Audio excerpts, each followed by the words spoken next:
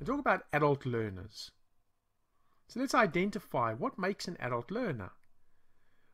Well, adult learners very often are internally motivated and self directed. So they've got a motivation for coming to do a course. More so if this is an external course. You know, if somebody's been forced to do a training within an organization, fine, they've been told that they have to be there.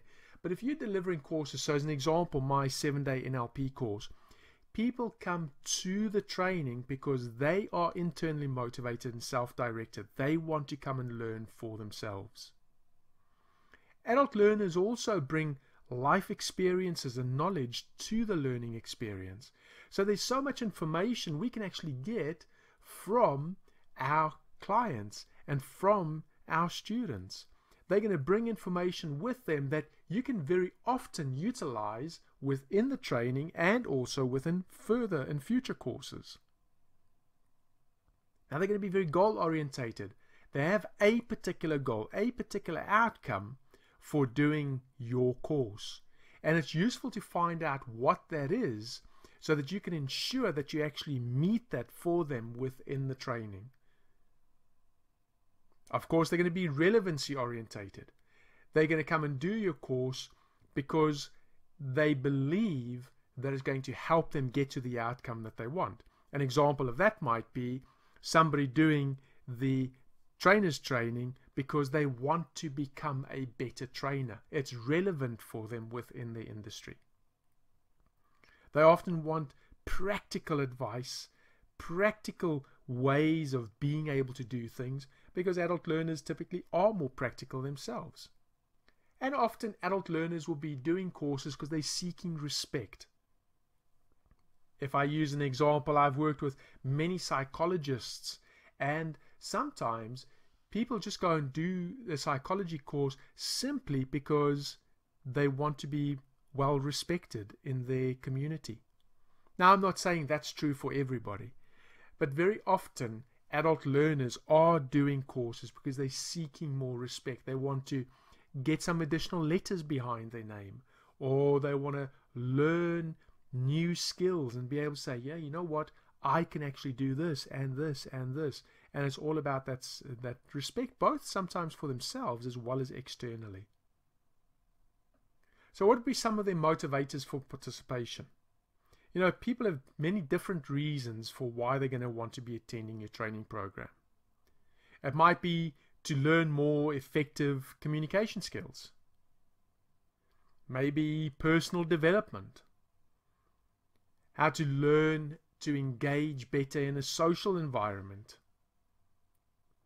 Maybe they do training to prepare for further education or for professional advancement in their current job or career.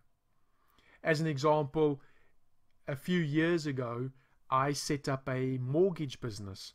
And so, therefore, I had to go and do CeMAP, which is a particular requirement to be working within the financial industry and, and doing mortgages and insurances. And so, therefore, I did the training for professional advancement within another business that I owned. Maybe they want to re enter the workforce. An example of that might be a lady who has been looking after the kids for the last few years, and now that they've gone to school, now the lady would like to get back into the workforce, and so she goes to relearn or, or learn something new to enter into a new industry. And of course, also there'll be many financial reasons like to be able to get a better job or to start their own business so that they can better provide for their family. So these are just some of the motivators for participation. So let's do a little exercise. What do you think an adult learner is? What can you add? And why do you think they might be motivated to do your training? So have you already got a course that you are delivering? Or are you considering creating a particular course or starting your own business? And if that's the case, it's very important to consider who's your client avatar.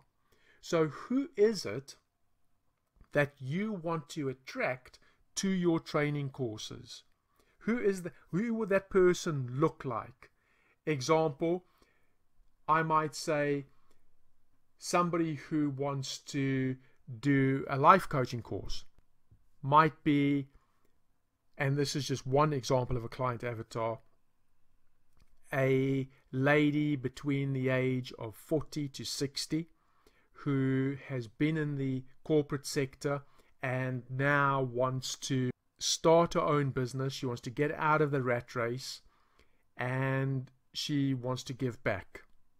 So that might be an example of a client avatar. So, why do you think they might be motivated to come and do your training? And then that's going to help you to create your client avatar.